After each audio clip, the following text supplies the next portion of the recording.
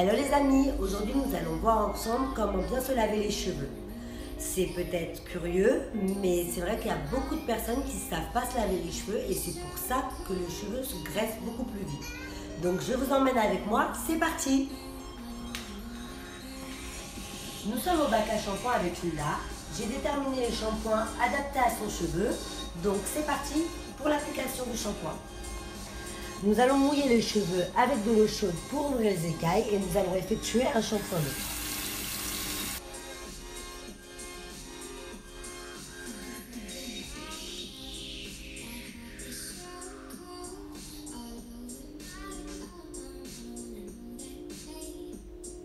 Le premier shampoing sera neutre, il va mousser très peu, il aura pour but d'éliminer le sébum, d'éliminer la saleté et, euh, à préparer le cheveu va recevoir le deuxième shampoing traitant. On va appliquer le shampoing en quatre zones. La première zone est le dessus de la tête. La deuxième zone est les tempes. La troisième zone est la calotte, donc à l'intérieur du cuir chevelu. Et la quatrième zone, la plus importante, la nuque, car c'est l'endroit le plus sale du corps. Pour un bon shampoing, écartez bien les doigts et frottez de manière circulaire pour activer les vaisseaux sanguins du cuir chevelu. C'est rarement les longueurs qui sont sales, mais davantage le cuir chevelu. vous frottez bien sur les quatre zones. C'est normal si ça ne mousse pas.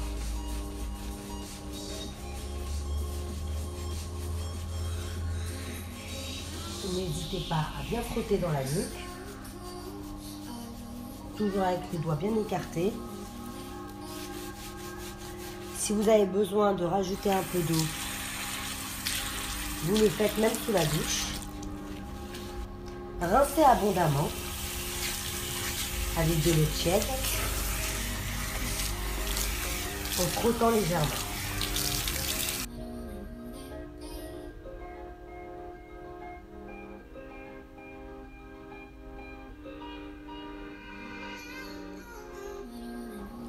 En deuxième shampoing, n'oubliez pas de choisir un shampoing adapté à votre type de cheveux.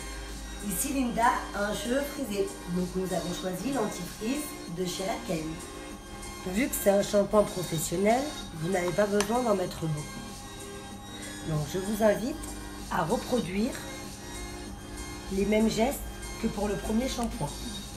La nuque, les côtés, le dessus et l'intérieur du cuir chevelu.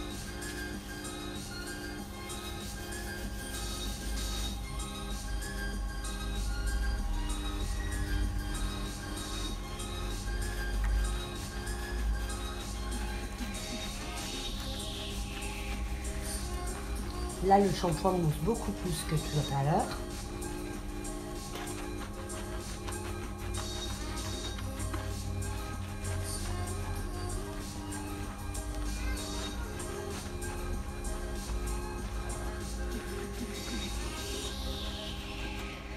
Après le deuxième shampoing, il est impératif de rincer abondamment pour éliminer toute trace de produit sur le cheveu. Le rinçage doit durer trois fois plus longtemps que, le lavage. Donc, rincer abondamment tout en frottant.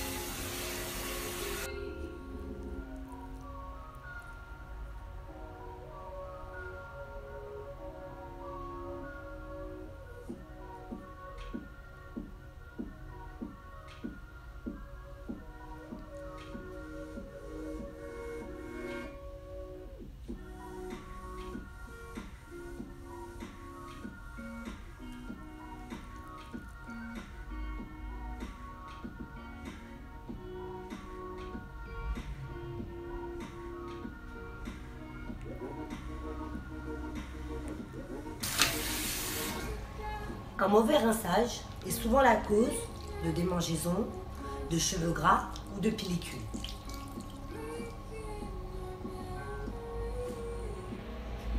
Pour appliquer le masque, essorez le cheveu avec une serviette.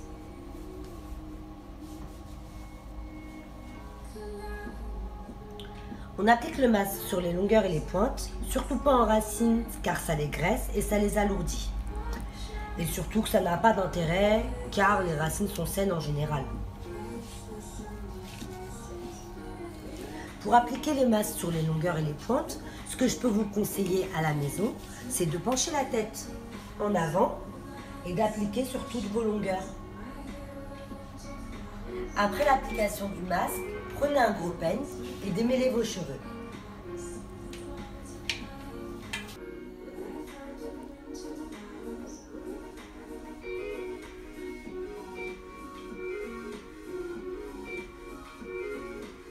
Laissez poser 5 à 10 minutes. Le masque étant très riche, n'oubliez pas de le rincer abondamment.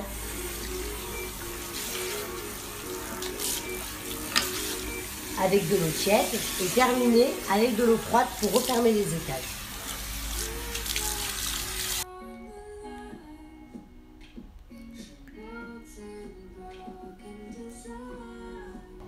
Voilà, le shampoing est terminé. J'espère que ça vous a plu. N'hésitez pas à laisser des commentaires. À bientôt et bisous